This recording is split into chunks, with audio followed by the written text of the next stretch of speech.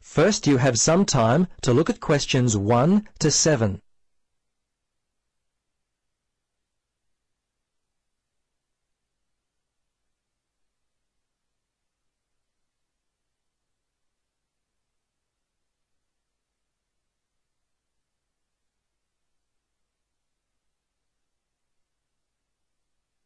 Now, listen carefully and answer questions 1 to 7. Realty, Jill speaking. How can I help you? Yes, hello, Jill. I've got a problem, a complaint I wish to register. Who should I speak to? You'll want to speak to Tracy, the residential manager. Just a moment and I'll put you through. Thanks. Hello, this is Tracy. I understand your rent is going to be increased. Yes, this is why I'm calling. I was told that my rent would not be increased for the length of my six-month contract, which I signed only four months ago. What's going on? Is my landlord allowed to do this? I see. Yes. Okay. That seems strange. Look, can I take down some of your particulars and I'll register a formal complaint to the landlord on your behalf? Yes, sure, that'd be good. Firstly, name and address, contact details. Yes, Jane McSweeney. That's M-C-S-W-E-E-N-Y. 3 Maugher Street. That's M-A-U-G-H-E-R Street. Windory, double three double five. And the phone there? Yes, you can contact me on double three four seven five six extension three one seven six. I generally arrive home by six o'clock in the evening, so you can call me around that time, but not after nine. Oh, sorry, eight thirty, because that's the time I leave for work. Okay, so I should note down that the problem is that your landlord wants to raise your rent. And when did you first move in? Yes, well, the contract began on August 1st, and... Oh, hang on. Sorry, that's the ending date. We actually moved in on February the 1st. Before you listen to the rest of the conversation, you have some time to look at questions 8 to 10.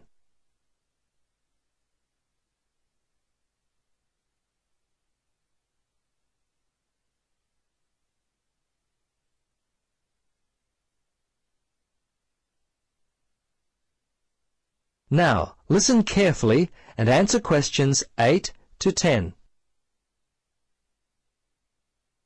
Okay, good. Now, if need be, you will have to send a letter to the Rental Tenancy Board. But as I said, first let us approach your landlord on your behalf and see if we can work out the problem before it gets to that situation. I'd be very surprised if you have to send a letter. 95% of these kinds of problems get solved early on. Okay. Now, if you have any problems you need to discuss, feel free to come in and talk with the general manager. In the meantime, if you would just wait until we receive an answer from your landlord, we'll be able to then plan our next step. Is there anything else I could be doing?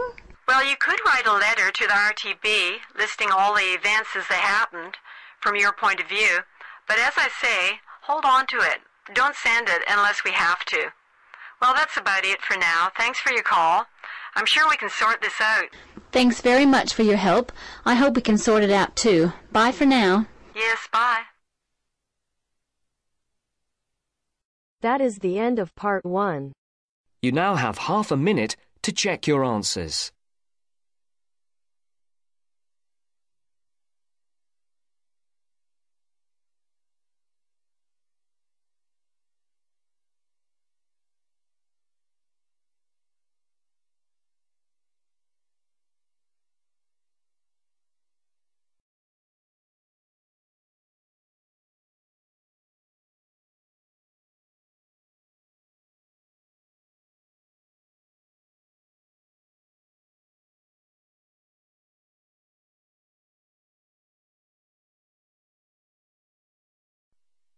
Now turns to part two. Part 2. 2. You are going to hear a talk given by an international student. First, you have some time to look at questions 11 to 16.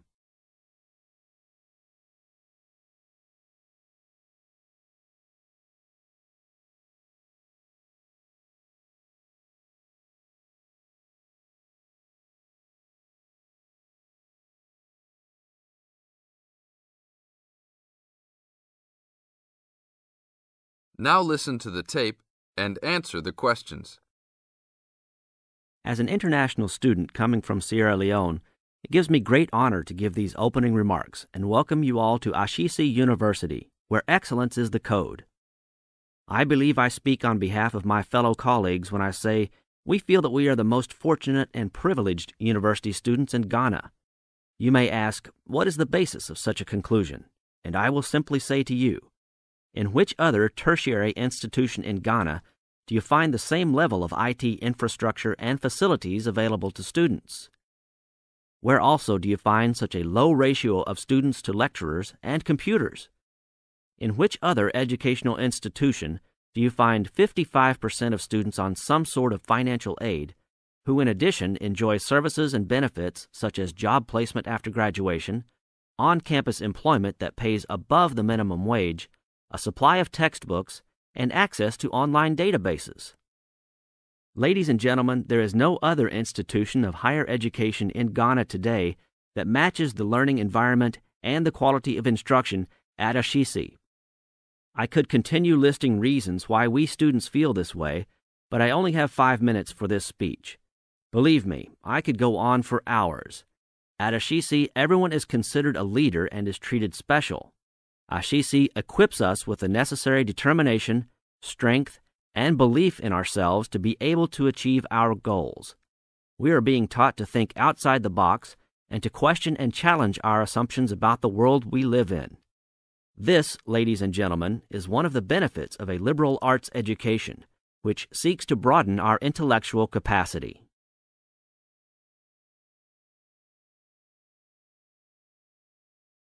Now look at questions 17 to 20.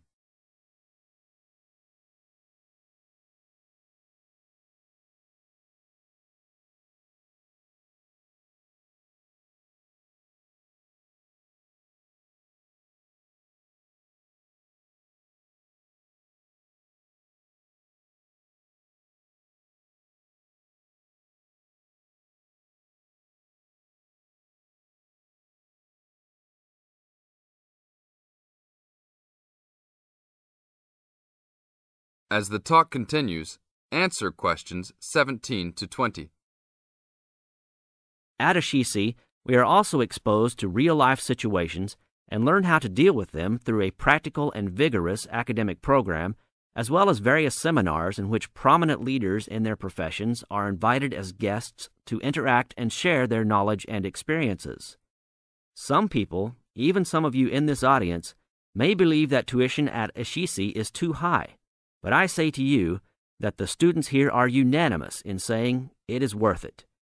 Not because we all come from well to do families, but because when it comes to one's education, you need to aim at getting the best from the right place.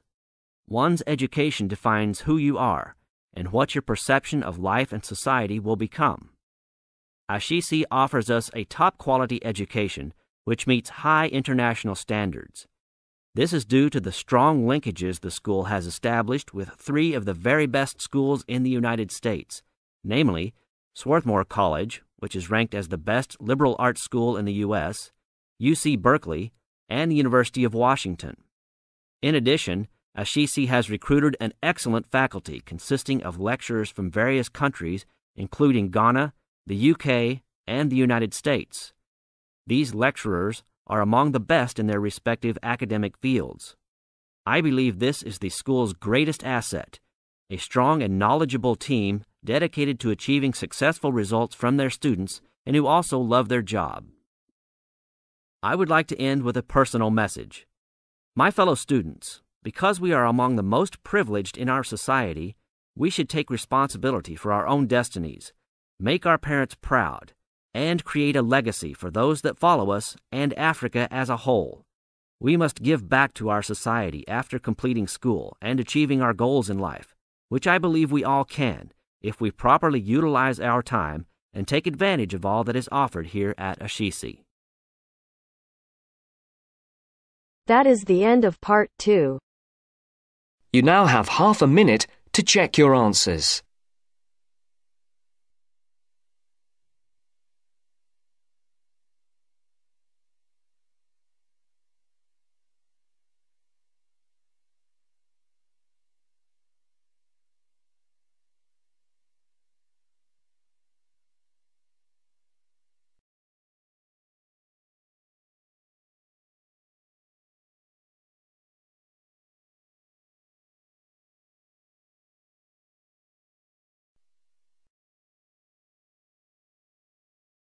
Now turns to part 3.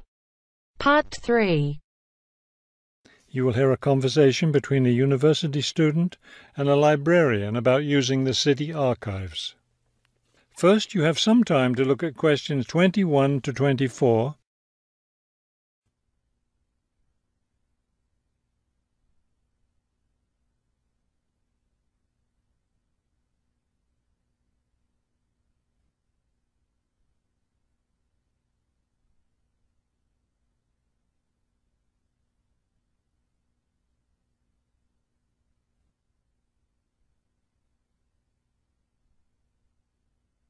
As you listen to the first part of the conversation, answer questions 21 to 24. Hello. I was wondering if you could give me some information about using the archives? I'd be happy to. Are you a resident of the city? Actually, I live just outside the city, but I study at the university downtown. That's fine. All you need to do is show your university identification card and you can use the archives at no charge, as long as your ID card is current, of course. Yes, it's valid. So I don't have to pay anything? No, city residents pay an annual fee, but students can use the archives for free. Everyone else needs to get special permission from the director, but that doesn't apply to you, of course. Oh, good. I was also wondering about the schedule. I have classes every day, Monday through Friday, and I also have a part time job so I could really only use the archives on weekends. That's not a problem at all. We're open all weekend. Actually, the only day we're closed is Monday, so you can come any day, Tuesday through Sunday. Are you open in the evenings? Yes, we're open from 9:30 in the morning until 8:30 in the evening. That will fit my schedule well. Before you hear the rest of the conversation, you have some time to look at questions 25 to 30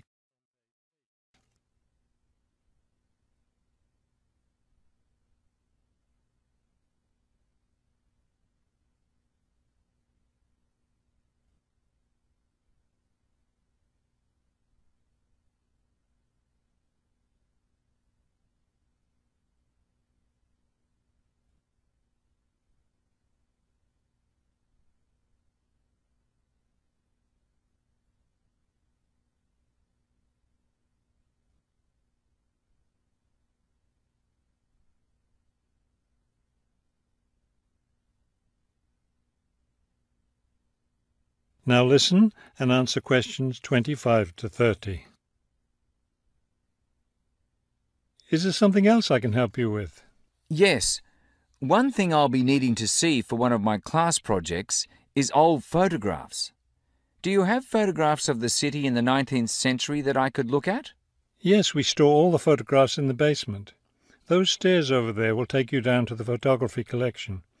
Just tell the librarian there what you're interested in and he'll help you. Those would be 19th century photographs? Yes, the entire collection is there. Now, if you're interested in seeing documents from the 19th century, those are right here on the ground floor. I would like to see some of those documents. Does that collection include newspapers too? No, all the newspapers from the earliest ones in the 18th century up to the current time are on the second floor. Here, let me just give you this map of the archives, and you'll be able to find whatever it is you need. Thank you. Oh, I see you have a whole room devoted to maps. Yes, on the third floor. That's great, because one thing I need to do is look at how the city has developed over time. I'm sure you'll find a lot of helpful information there. Of course, some of the maps are several centuries old, so generally visitors are only allowed to see photographic reproductions of them. That shouldn't be a problem. What's this on the fourth floor? Ogden's Woolen Mill. As I'm sure you know, Ogden's Woolen Mill was the major entity responsible for the growth of this city in the 19th century. The Ogden heirs gave money for the archives to devote an entire floor to information about the history of the mill. Will I be able to find information about the Ogden family there? Photographs, personal papers, things like that? Probably the family photographs are stored downstairs in the photography collection. The personal papers would be on the fifth floor, where we keep all the personal papers of famous residents of our city. Thank you so much for your help. I'll be able to do a lot of my research here.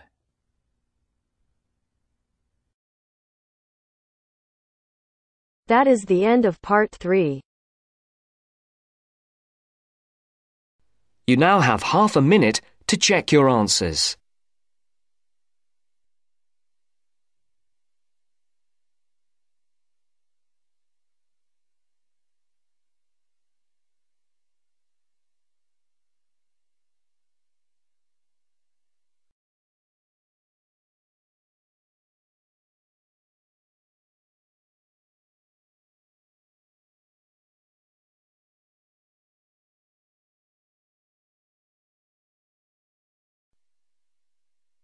Now turns to part 4.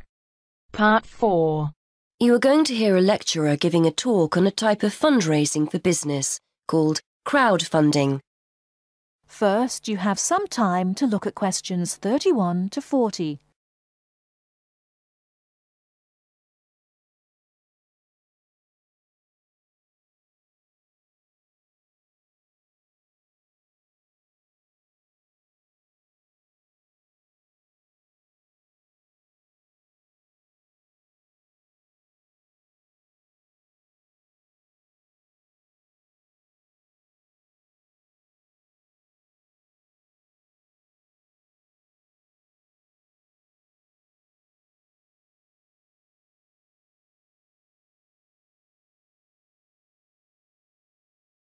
Now listen carefully and answer questions 31 to 40.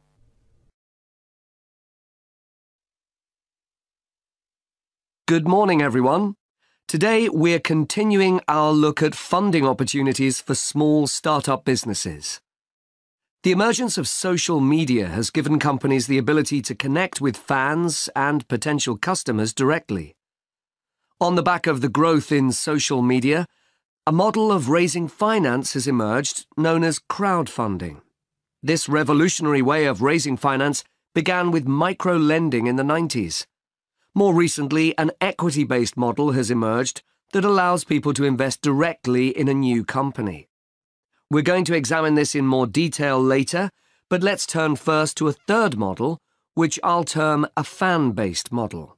With this model of crowdfunding, individuals are encouraged to give an amount of money to support the launch of a project or initiative without the promise of any financial return.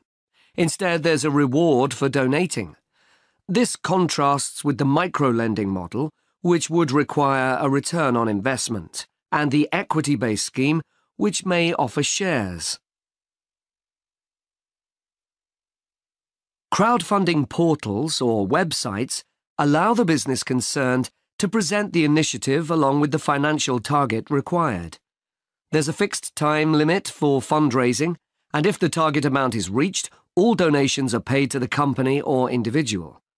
Whether it's an author planning to write a new book, an independent film company looking to make a new film, or a technology company with an idea for an app, the person or company needing funding would turn to its fan base for support. This is managed through one of the many crowdfunding online portals that have emerged. Of course, a fan or supporter of a particular initiative is likely to give money anyway.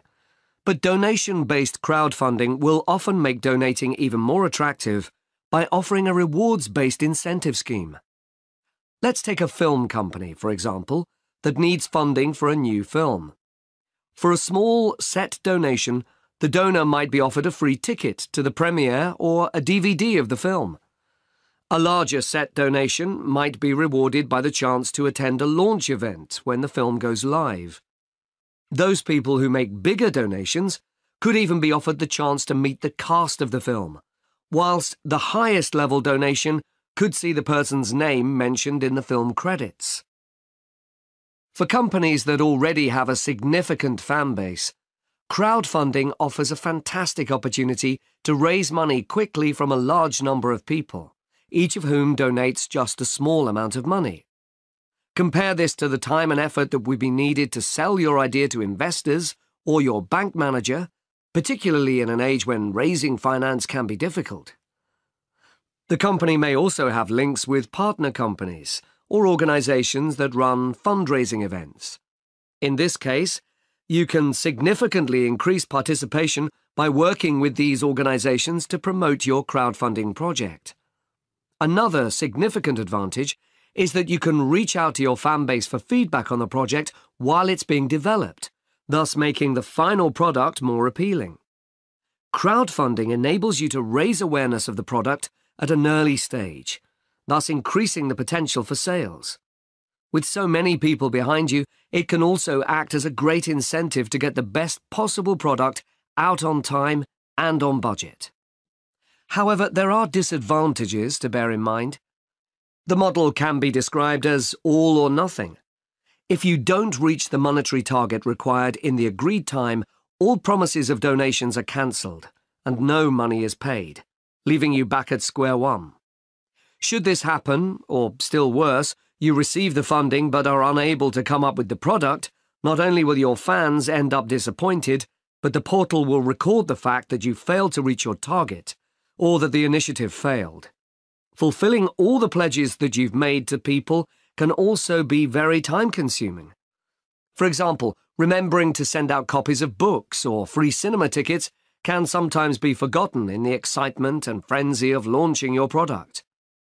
People sometimes forget to factor in the cost of rewards when calculating profit margins. But these can be significant. And finally, if you have a small fan base, for example, you're a new company or have a small social media footprint, raising awareness of your initiative will be challenging. These drawbacks aside, donation based crowdfunding is a wonderful opportunity for individuals or small startups to raise funds for that exciting new project whilst reaching out and connecting to the people who are most likely to support and promote your work for you. That is the end of part 4.